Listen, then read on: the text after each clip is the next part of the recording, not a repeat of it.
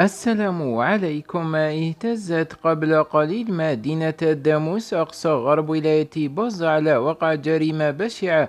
راح ضحيتها شاب ينحدر من مدينة فرجيوة بولاية ميلا يشتغل لحام بوسط المدينة. تابع الفيديو للأخير.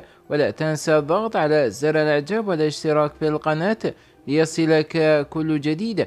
الضحية وحسب مصادر محلية نشرت الخبر. فقد تعرض لضربات على حد أردته متوفيا في عين المكان وتشن الآن مصالح أمن بدائرة الداموس عملية بحث واسعة عن الجاني والذي فر إلى وجهة مجهولة وتفاعل ناشطون على مواقع التواصل الاجتماعي مع هذه الحادثة الأليمة وطلبوا السلطات الوصية بضرورة تطبيق عقوبات قاسية على هؤلاء المجرمين ليكونوا عبرة لغيرهم.